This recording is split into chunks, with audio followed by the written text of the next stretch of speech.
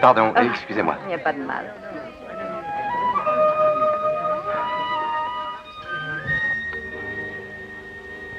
C'est une chance que dans les théâtres, il y ait un bar. Nous venons de subir deux actes de cette pièce. Nous avons souffert un vrai martyr dans la salle et sur scène. J'ignore vos goûts en matière de théâtre. Vous aimez peut-être euh, transpirer à force de réfléchir. Mais moi, euh, je vais au théâtre pour me distraire, pour rire, m'amuser. Ce soir, oh mes seigneurs, Simon l'épouse de l'homme qui monte la pièce. Qu'est-ce que je vais lui dire? Excusez-moi. Ah, très cher. Madge, Dites-moi franchement ce que vous pensez de la pièce, Simon. je ne sais quoi dire. Honnêtement, Madge, je n'ai rien vu de tel dans toute ma vie. C'est extraordinaire. Ah, Attendez-moi ici, je veux vous présenter John. C'est un génie. Autrefois, il a été acteur. Ah oui, je sais. Viens, chérie. Je veux te présenter un homme étonnant. Je t'ai souvent parlé de lui. John, voici Simon Templar.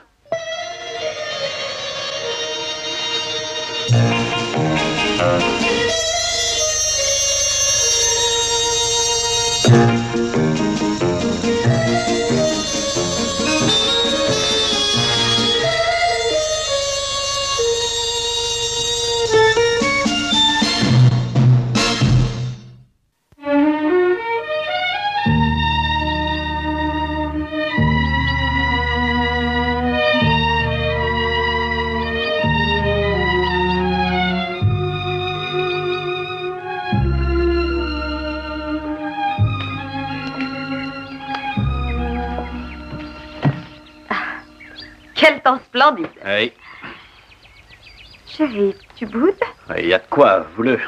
Quand je songe à la stupidité incurable du public, me fais retirer cette pièce de l'affiche après trois jours. Ça me coûte une fortune. Tu me montreras d'autres pièces. Ah. Je serai à boire sur la terrasse Oui. Je préfère. À l'ombre, il fait frais. Bien, poussons les fauteuils. Et voilà. Merci. Chérie, il va falloir que je fasse un saut à Londres demain pour essayer de résoudre nos problèmes domestiques. M'occuper seule de cette maison, c'est de la folie. Mais nous sommes si tranquilles. Rien que nous deux. hein? Oh, chérie, que tu es gentille. Mais et le côté pratique? Chérie, mais tu es glacée. Non, je me sens bien, je t'assure. Je vais te chercher un lainage. Merci.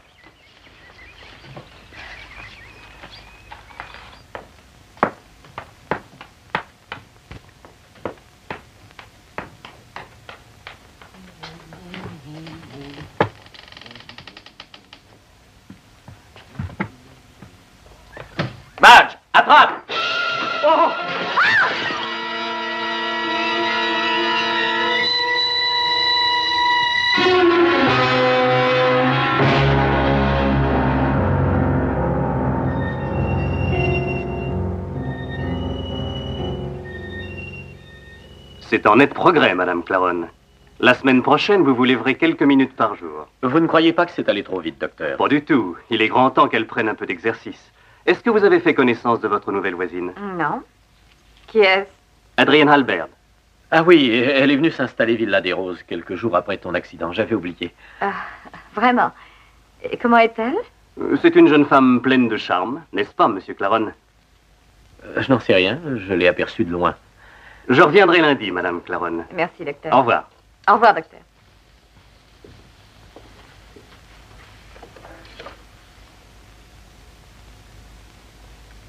À propos, Monsieur Claron, l'infirmière dont je vous avais parlé est libre. Êtes-vous toujours d'accord? Euh, merci, docteur, mais j'ai engagé une personne qui arrive demain. Ah, J'espère qu'elle fera votre affaire. Mais vous avez les traits tirés. La fatigue, sans doute?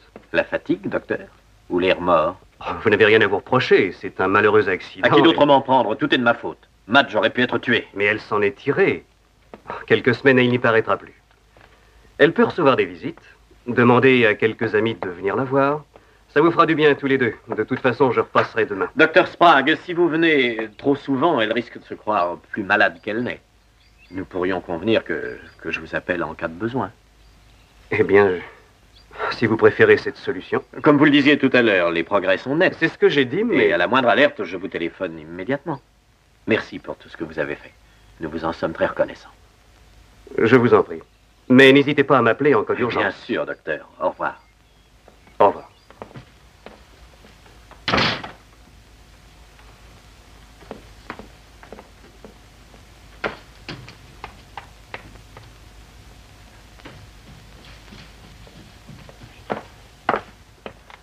Le docteur Sprague a dit que dans six semaines, tu seras parfaitement remise. Mais je me sens mieux déjà. Je ne souffre presque plus. Je me sens terriblement responsable. Oh, ça n'était qu'un accident. Tu le sais, je le sais. Je te demande pardon, je n'aurais pas dû en reparler. Oh, je viens d'avoir une idée, chérie. Invitons Margaret et Franck à venir prendre un whisky. Allons, chérie, il ne faut rien précipiter. Le docteur Sprague a dit pas de visite avant deux semaines. Bien, chérie, je suppose que tu as raison. Mais si j'avais seulement le téléphone ici. J'ai rappelé la poste pas plus tard qu'hier. Et alors? Eh oui, monsieur, nous avons en main votre lettre. Nous viendrons dès que possible installer une ligne supplémentaire. Mais ça, ça fait déjà deux semaines qu'ils l'ont reçu. La bureaucratie, que veux-tu? Et qui sait, ils viendront peut-être demain. Qu'est-ce que tu veux pour déjeuner? Oh, ce que tu voudras. Un peu de poisson peut-être et une salade? Et il est 11h30, il y a du pain frais à la boulangerie. Pauvre chérie. Tu fais les courses, la cuisine, je t'en donne du mal. Tu devrais trouver quelqu'un pour t'aider. Ça doit pas être impossible. J'ai téléphoné à presque toutes les agences. Les domestiques sont devenus une denrée rare. Et je me fais une joie de te servir.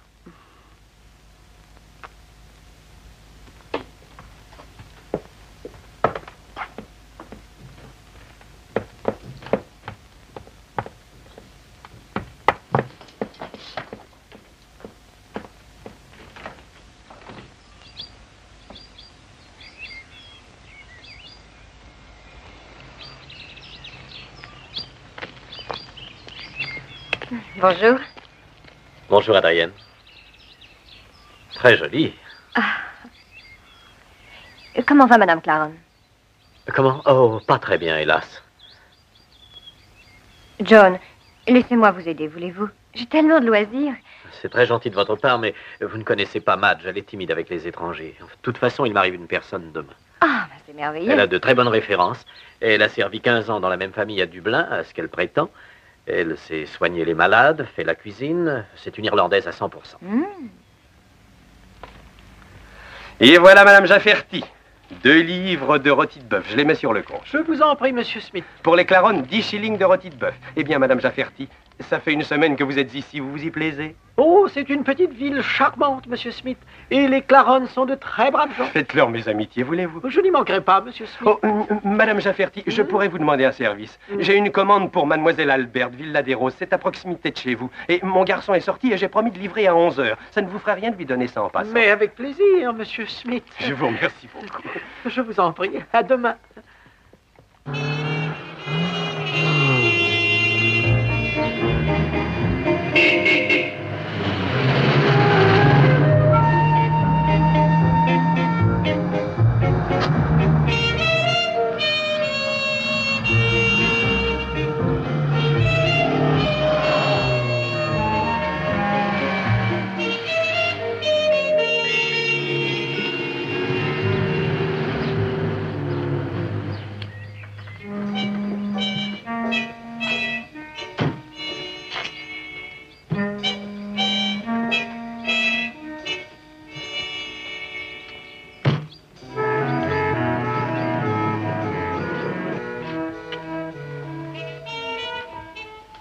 Voilà, monsieur.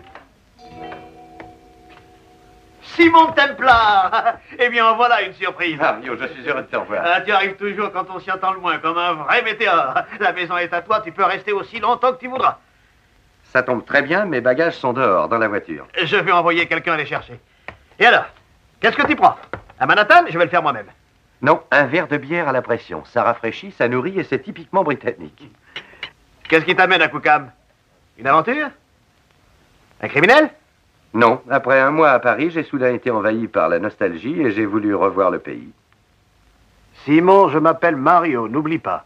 Tu peux tout me dire, tu sais. D'accord. Tu peux garder un secret? Je serai muet comme la tombe. Je suis à la recherche d'une femme. Ah, Un tour de hanche bien confortable avec une taille de guêpe. ça doit pas être mal. Et si tu voyais le reste?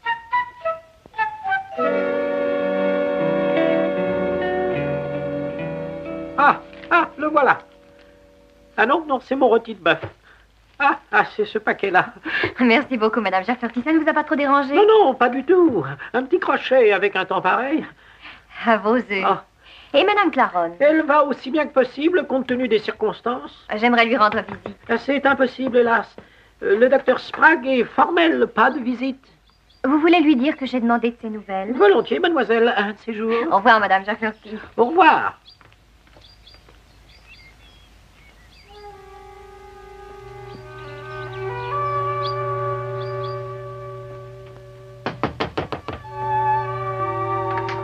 Madame Jafferty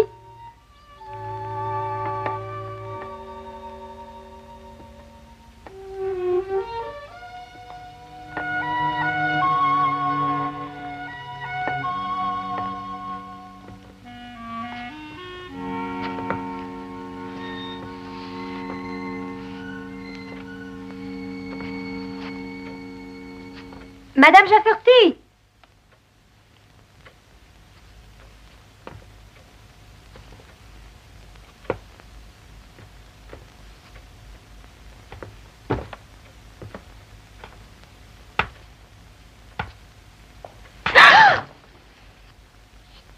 Bonjour, Adrienne. Vous m'avez fait une telle peur. Je vous demande pardon. Madame Jafferty est passée tout à l'heure me remettre un paquet et elle a oublié ceci. Mais il ne fallait pas vous déranger. Je n'aurais pas dû m'introduire ainsi chez vous. J'ai appelé Madame Jafferty et elle ne m'a pas répondu. Je suis navrée. Mais il n'y a pas de quoi. John, si je profitais de l'occasion pour dire bonjour à votre femme. C'est très aimable à vous. Je le voudrais bien. Mais Madame Jafferty est en train de lui faire sa toilette. Vous connaissez les domestiques, ils sont susceptibles et n'aiment pas qu'on les dérange. Je suis désolé. Alors ce sera pour une autre fois. Dès que les visites seront autorisées, vous serez averti la première. C'est promis. Elle a hâte de vous connaître. Merci, John. Au revoir. Au revoir.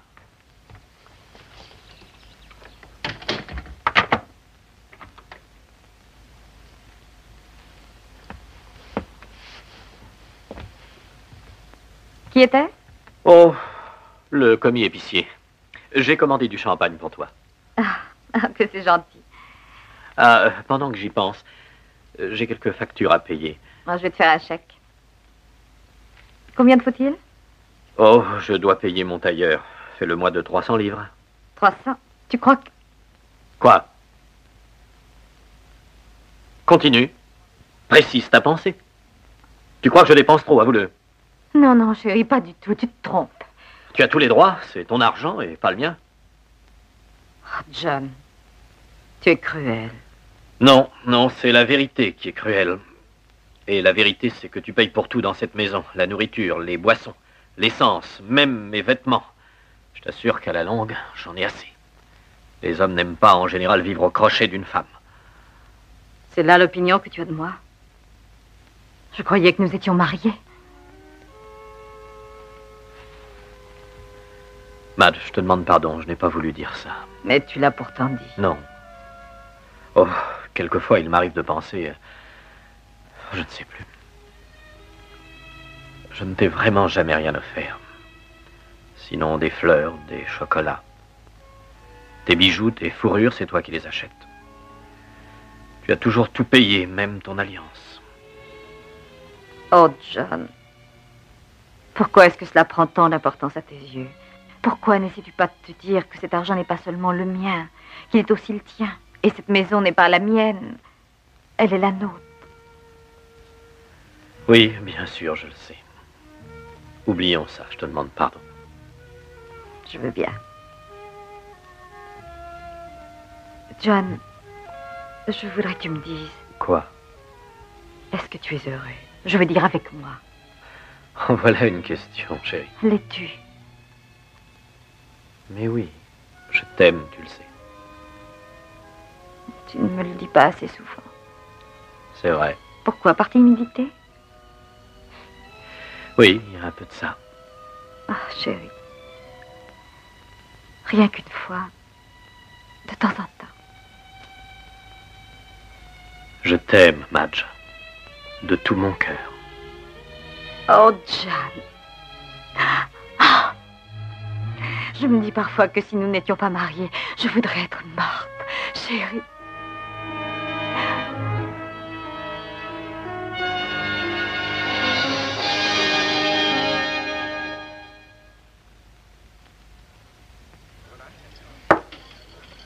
Et voilà Un véritable Manhattan. Merci, Marion. Euh, Simon, nous sommes amis, non? Nous sommes des amis, oui. Quelquefois, il m'arrive de penser que tu es pour moi un inconnu. Je ne suis pas un homme compliqué, Mario. Comme la plupart des hommes, je cherche à développer ma personnalité, mais en dehors des chemins battus, c'est tout. Je ne vois pas très bien. Mais c'est simple, je ne veux pas n'être qu'un rouage de la machine. Figurer parmi la foule de ceux qui dévorent le dragon, c'est très honorable, mais n'est-il pas mieux de vouloir être Saint Georges lui-même? Avec l'épée à la main et le pied sur la tête du dragon. Et l'autre main dans celle de l'héroïne, ça te déplairait? Non, pas dans ces conditions.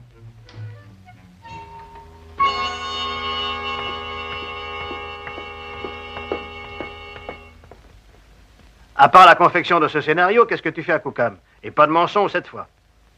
Et qu'est-ce que tu fais à Koukam Qu'est-ce que tu sais d'un nommé John Claron? Tout récemment, sa femme a eu un grave accident et elle a failli rester. Ses autres femmes ont eu des accidents et en sont mortes. Il a été marié combien de fois Deux fois. Donne-moi un autre Manhattan. Volontiers. Cette femme qui entre est la domestique, Ah ah, elle s'appelle comment Madame Jafferty. Madame Jafferty Euh, oui. Comment va Madame Claron Euh, euh, vous la connaissez? Oui, bien sûr, je peux dire que je suis un ami de la famille. J'ai connu la précédente Madame Claron. Ah, c'était une américaine. Oui, Grace Selden. J'étais très intime avec sa sœur. Je lui dirai que je vous ai rencontré. Et faites-lui mes amitiés. Je n'y manquerai pas. Comment vous appelez-vous? C'est Monsieur Simon Templar, Madame Jafferty. Ah, ravi de faire votre connaissance. Je dirai à monsieur et madame Claron que je vous ai vu. Au revoir, Madame Jafferty. Au revoir, monsieur. Euh, Simon, Ah, ah. tu es peut-être ici incognito, j'ai eu tort de lui dire comment tu t'appelais. Non, tu as bien fait. Un autre Manhattan? Ou préfères-tu dîner? Monsieur Templar dîne avec moi ce soir. Vraiment? Vous n'êtes pas libre Si. Je suis libre si Mario veut bien m'excuser. Tu es acquitté avec les félicitations du jury. Je prépare la table. Ce ne sera pas nécessaire, Mario. Nous dînerons chez moi. Apportez-nous deux Manhattan, sur mon compte. Qu'est-ce que tu attends, Mario? Vous donnez des ordres comme un général Vous voulez les discuter? Non. Je ne discute pas les ordres d'aussi charmants généraux, mais il m'arrive de leur poser des questions. Comme il m'arrive d'y répondre. Quel est votre nom? Adrienne Albert, Nous nous sommes déjà rencontrés? Vous ne vous rappelez pas? Ah oui, j'y suis. C'était à Paris au printemps. À Central Park, sous la pluie. Dans une galerie de tableaux? Vous en êtes à 100 lieues. J'y suis maintenant. Vous enquêtez pour le compte d'une compagnie d'assurance, n'est-ce pas? Et vous êtes à Cookham pour la même raison que moi. Pour empêcher John Claron de tuer sa troisième femme.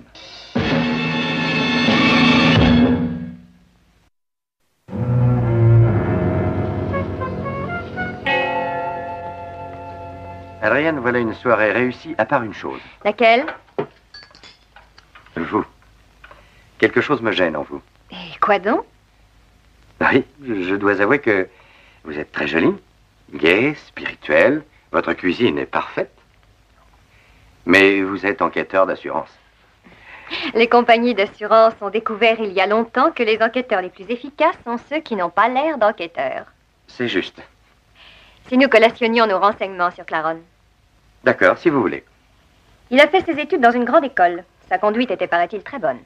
Il est devenu comédien. Il s'est marié et est parti vivre en Australie. Où la première, Madame John Claron, est tombée par la fenêtre d'un dixième étage. Claron a touché 50 000 livres sterling d'assurance et il est reparti pour l'Europe. Mhm. Là, il s'est de nouveau occupé de théâtre, a monté plusieurs pièces à Londres. Toutes ont été des fours. Il était pratiquement ruiné quand, quand il a épousé une américaine, une riche héritière, Grace Seldon. Oui, je l'ai connue. Comment était-elle? Comme la plupart des autres, très égoïste, pleine de vie, enfant gâté. Mais charmante. Et ensuite, ils sont partis pour New York, où six mois plus tard, Grace mourait électrocutée. Elle n'avait pas d'assurance sur la vie. Mais Claron hérita d'un quart de million de dollars. Excellente opération. Vous l'avez dit. Et il est revenu en Angleterre. Où il a recommencé à s'occuper de théâtre. De nouvelles pièces, de nouveaux fours. Oui, j'ai vu la dernière. Deux jours après avoir épousé Madge, John l'assurait sur la vie pour 50 000 livres. Il y a quelques semaines, elle a failli être tuée. C'est pourquoi je suis à Koukan. Adrienne. Quelque chose ne colle pas avec ce que nous savons de lui jusqu'à maintenant. Quoi? John Claron a toujours agi seul.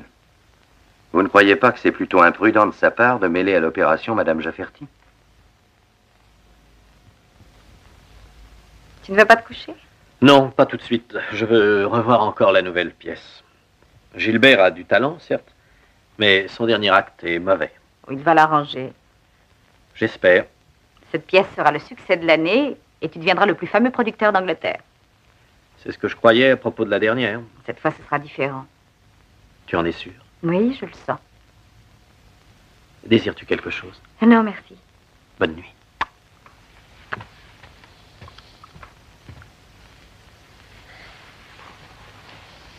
J'ai le pressentiment que ça doit s'agiter dans la cervelle de Claron. Pourquoi? Il va tout abandonner ou se décider à précipiter les événements. Je ne comprends pas. C'est une réaction normale chez les joueurs de son espèce, car dans le fond, Claron est un joueur. Il est à présent poussé dans ses derniers tranchements. D'un jour à l'autre, il va être forcé d'abattre son jeu. Pourquoi voudriez-vous qu'il se presse? J'ai dit à Madame Jafferty que j'avais été très intime avec la sœur de Grace Seldon. Mais alors, je ne vois pas ce que... Grace Seldon n'a jamais eu de sœur.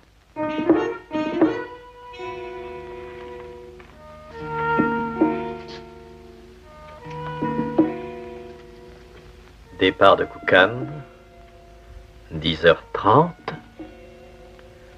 Arrivée à Maidenhead, 10h43.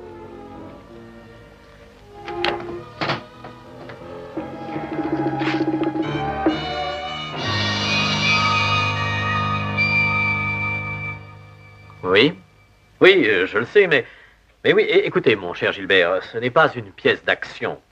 Euh, c'est surtout une œuvre psychologique. Oui, oui. Euh, De toute façon, j'ai résolu le problème du dernier acte. Il faut que je vous voie. Si nous dînions ce soir à mon cercle privé, 7 heures, ça vous ira? Bien. Parfait. Nous nous y retrouvons. C'est ça. Au revoir.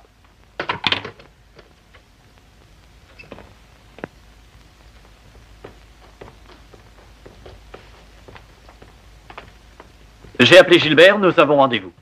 Je crois l'avoir convaincu. Je te l'avais dit. Et tu prends le train à quelle heure? Celui de 3 heures, si tu le veux bien. Bien sûr. J'ai rendez-vous au cercle à 7 heures. Je reviendrai par le 8h55. Ah, je vais te préparer ton plateau avant de partir. Qu'est-ce que tu veux manger? Oh, ce qui sera le plus facile. Eh bien, qu'est-ce que tu dirais d'un haricot de mouton? Tu n'auras pas le temps de le faire cuire. Oh, je pense que si. Il n'est que 10 heures. Je fais un saut chez le boucher. John, ne te donne pas tout ce mal. Ah, allons, allons, je t'en prie, ma chérie.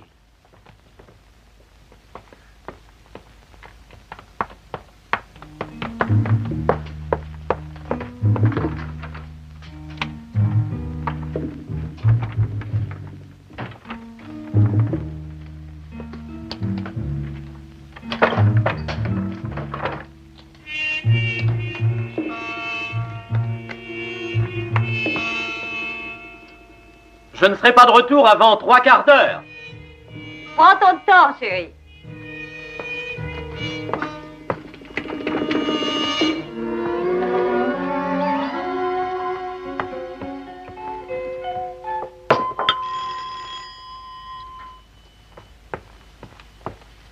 Ah, vous avez fait vite Ah, mais entrez donc.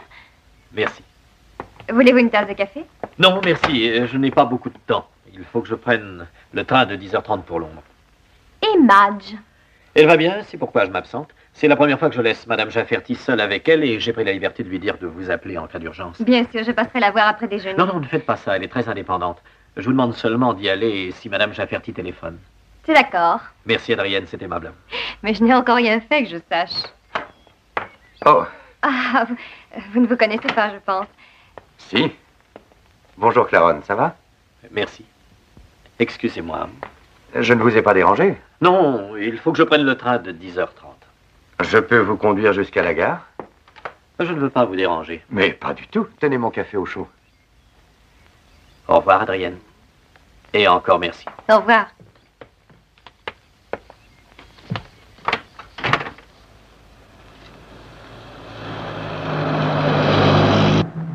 Comment va Madge? Oh, elle va aussi bien que possible. Je pourrais lui rendre visite Que venez-vous faire à Koukan Jouer au golf et voir Adrienne. Quand est-ce que je pourrais lui rendre visite? Eh bien, pour l'instant, les visites sont interdites. Oui, c'est ce que la gouvernante m'a dit également. Vous la connaissez? Oui, je l'ai rencontrée hier soir. Elle ne vous a rien dit? Oh, elle est si bavarde que je l'écoute à peine.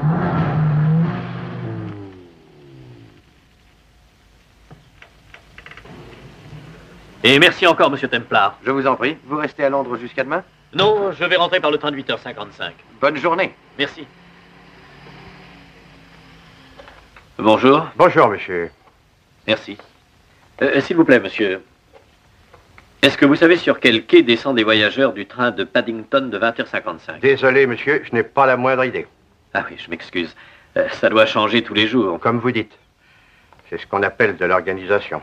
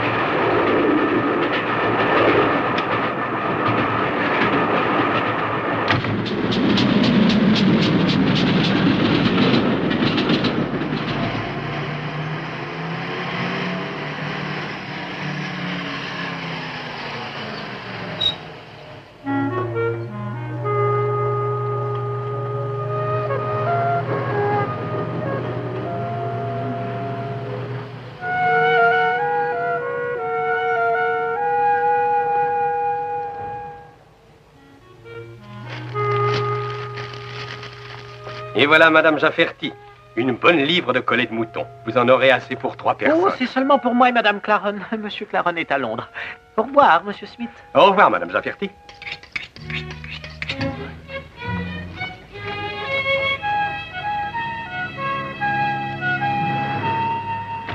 Bonjour, mademoiselle. Bonjour. Euh, vous n'auriez pas une boîte de ce poison dont on se sert pour les rats, ce produit marron qui ressemble à du cirage, vous voyez Euh, oui, nous devons en avoir. Voulez-vous une petite boîte ou une grande? Une petite, ce sera sûrement assez. Combien ça coûte? Trois shillings. Ah. Je vais vous faire signer le registre.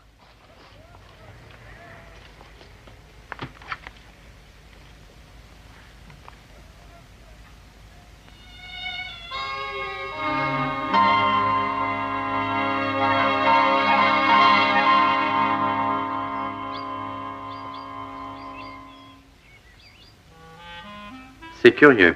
Quoi? Madame Jafferty vient de rentrer. Et je ne l'avais pas vue sortir.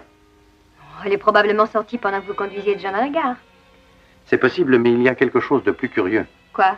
C'est que bavarde comme elle est, elle n'est pas dit à John Claron que j'avais intimement connu la sœur de Grace Seldon.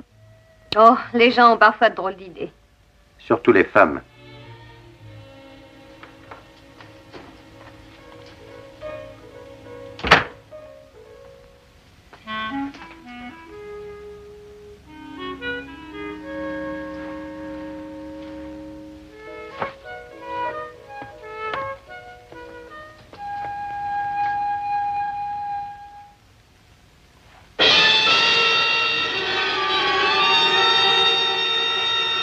Suis là, Madge.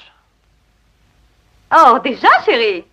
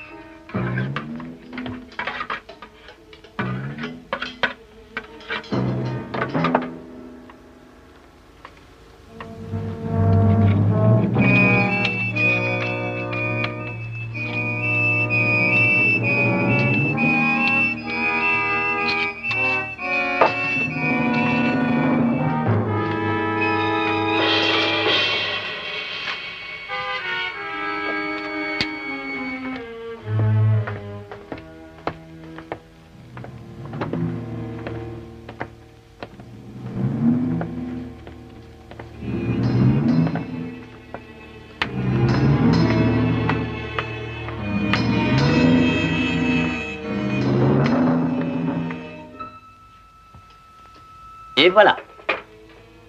Tu m'as vraiment offert un haricot de mouton. Mais oui, ma chérie, tu l'allumeras à 7h moins le quart et un quart d'heure après, ce sera à point. Tu as tout ce qu'il te faut, les journaux, la télévision. Euh, as-tu assez de cigarettes Et une boîte pleine.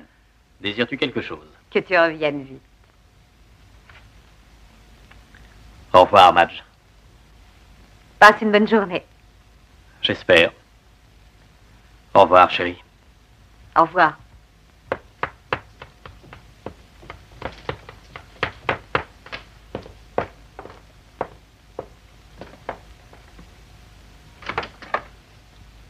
J'espère revenir vers 10 heures.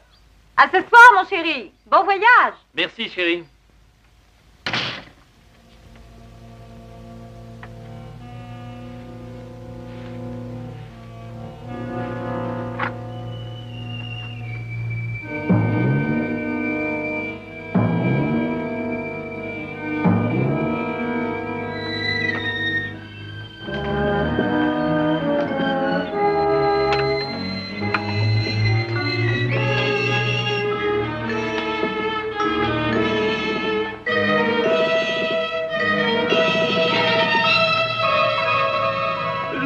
Le train de 3 heures n'est pas parti. Vous avez encore deux minutes. Oh, ah, ah, excusez-moi, monsieur, je suis si pressé.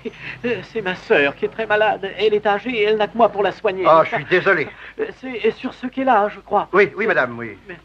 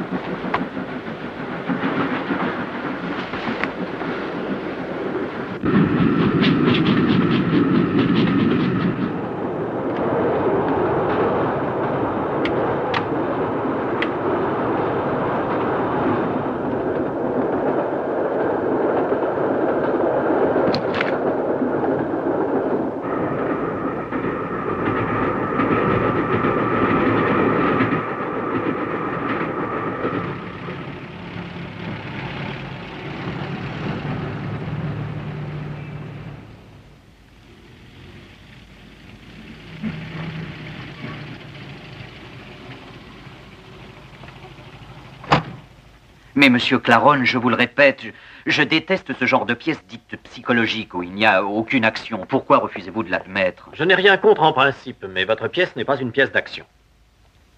Vous avez l'heure exacte. 7 heures moins le quart. Continuons, Gilbert. Où en étions-nous?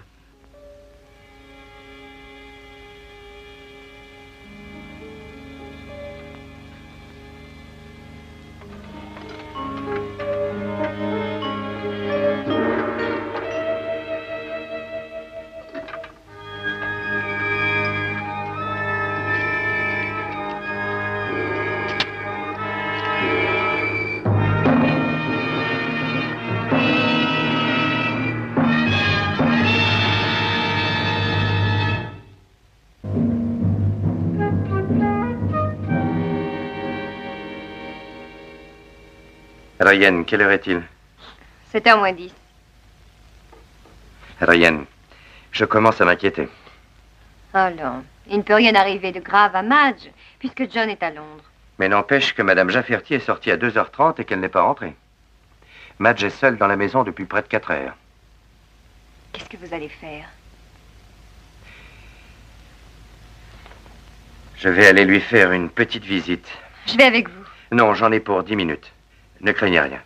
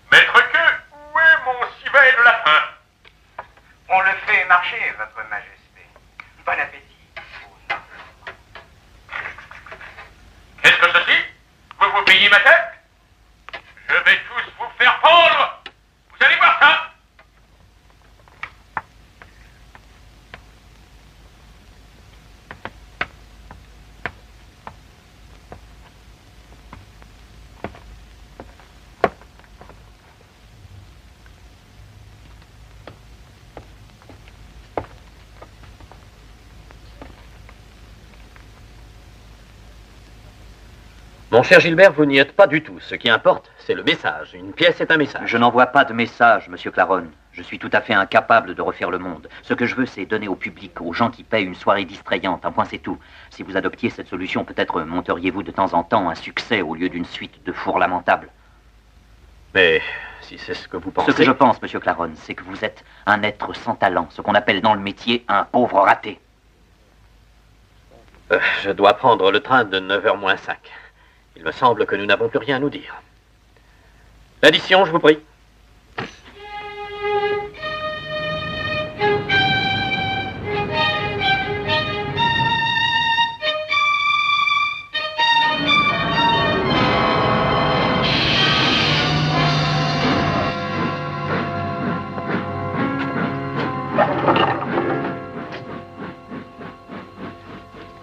C'est le docteur Sprague. En voilà une surprise. Bonjour, monsieur Claron.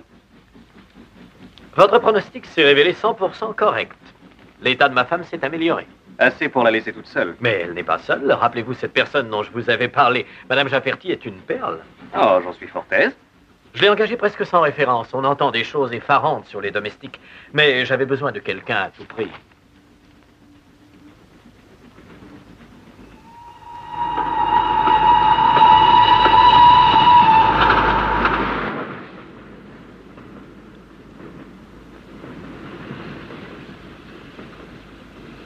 Docteur Sprague, puis-je vous demander un service Vous pouvez toujours, monsieur Claron. Un ami m'a conduit jusqu'à la gare. Ce matin, je n'ai donc pas de voiture. Ne pourriez-vous pas me ramener à la maison Mais ce n'est pas mon chemin. Ce n'est pas tellement loin. Vous me rendriez un grand service. D'accord. Entendu.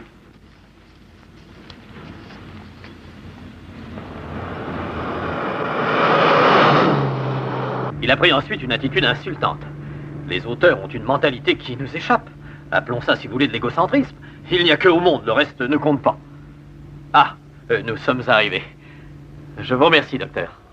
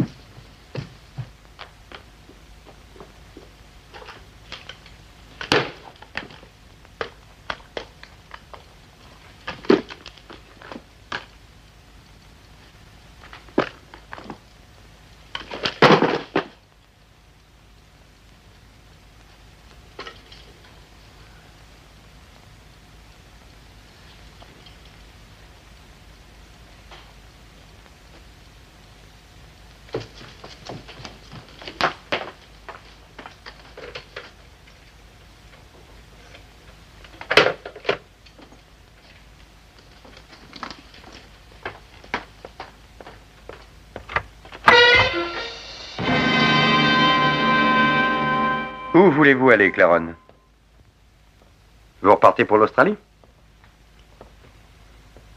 Ou pour New York, dans l'appartement de Park Avenue?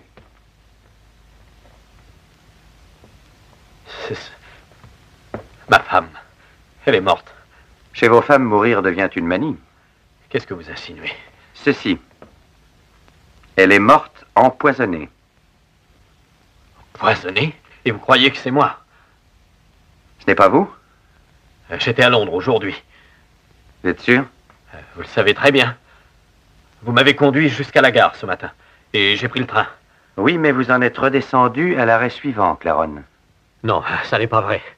Euh, J'ai dîné avec un auteur dramatique, il en témoignera. Vous croyez? Et les serveurs du restaurant. Et dans le train qui, qui me ramenait, j'ai rencontré le docteur Sprague. Il m'a raccompagné en voiture. Alors, qui aurait empoisonné votre femme? Sûrement Madame Jafferty. Oui. Euh, Je l'ai engagée sans référence. Je n'avais personne pour m'aider. Madge était malade, seul, je ne pouvais pas tenir la maison. Et pourquoi pas? Je vous croyais un mari prévenant. C'est Madame Jafferty, je vous dis. Et pour quel motif Madame Jafferty aurait-elle assassiné votre femme? Pour la voler. Et elle a emporté tous les bijoux. J'ai retrouvé le coffret dans la chambre, elle l'a forcé. Et elle a emporté les bijoux. À qui téléphonez-vous? À la police Ce n'est pas la peine. Je l'ai fait moi-même, Madame Jafferty.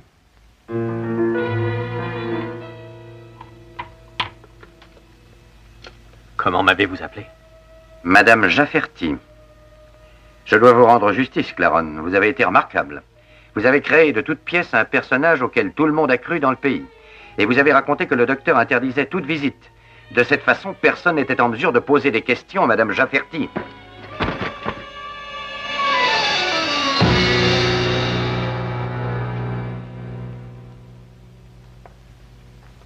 Templar. On peut peut-être s'entendre. Ah oui? Oui.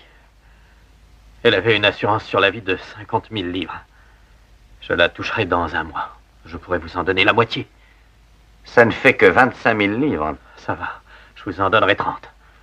Et je vous laisse tous les bijoux.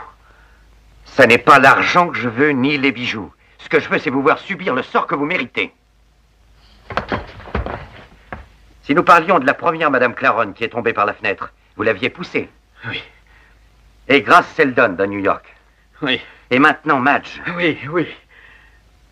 Adrienne. C'est noté? Oui, mot pour mot.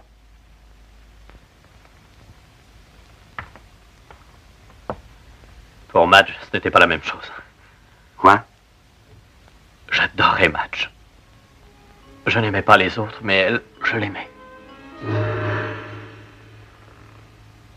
Je te crois, John. Jamais je n'ai douté.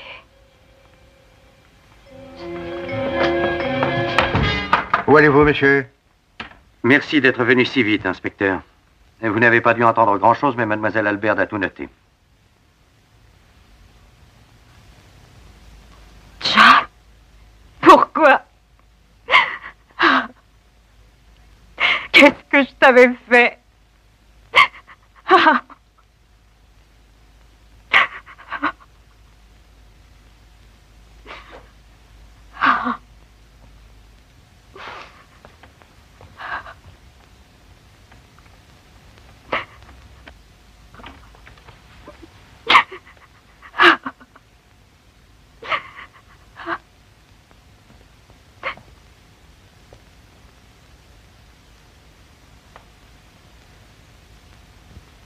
Madge. Madge. Je l'aimais. Je l'aimais. Tout à l'heure, quand vous m'avez révélé cette chose horrible, quand j'allais manger le poison, pas une seconde, je n'ai cessé de l'aimer. Je n'ai jamais aimé un autre homme. Pourquoi ne pas m'avoir laissé mourir Parce que le temps accomplira son œuvre, Madge. Et que vous reprendrez un jour goût à la vie.